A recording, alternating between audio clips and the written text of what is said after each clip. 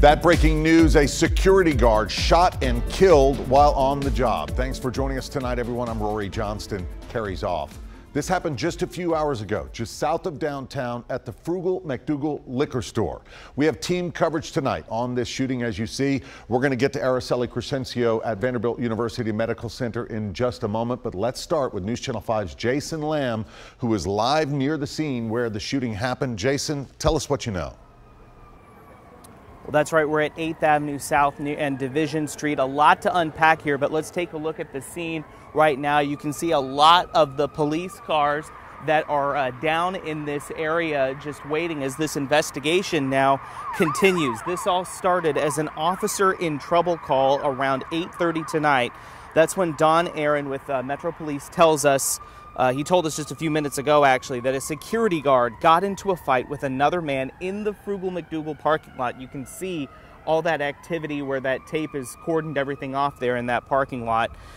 During that fight, police say uh, that man was able to get the guard's gun, and then the man shot and killed the guard.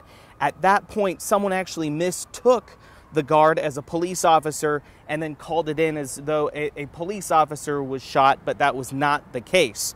Now, that man, armed with a gun, then went into the Frugal MacDoogal liquor store. And inside the Frugal MacDoogal liquor store, that is when three police officers eventually arrived and approached this suspect inside the store. The suspect then fired on those officers, and two of the officers, according to police, fired on the suspect. Police tell us the suspect is in critical but stable condition at Vanderbilt Medical Center.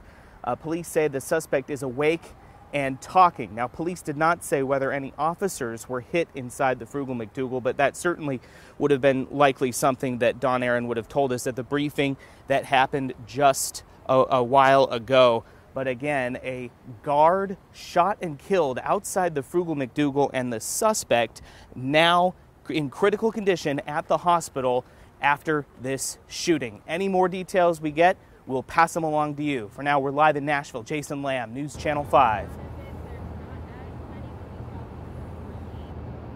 Jason, there's been a lot of police activity here at Vanderbilt University Medical Center. When we first arrived at around 9 p.m., there was a steady stream of police cars passing through the entrance of Vanderbilt's adult emergency unit. A lot of police have left the scene, but there are still some here. We now know that the suspect who entered the Frugal MacDoogal liquor store and the security guard who worked there were the two people that were transported here. Unfortunately, the security guard who was fatally was fatally shot. Police say that the suspect is in custody but is in stable condition. Again, here a lot of the police activity has died down, but we're still seeing some officers here at Vanderbilt University Medical Center. Reporting live in Nashville, Araceli Crescencio, News Channel 5. All right, Araceli, Jason, thank you. And of course, as we learn more information about this, one of the first ways you can get that is through the News Channel 5 app. If you have it, you likely saw our push alert about this shooting. If you don't have it, be sure to download it for free in your app store.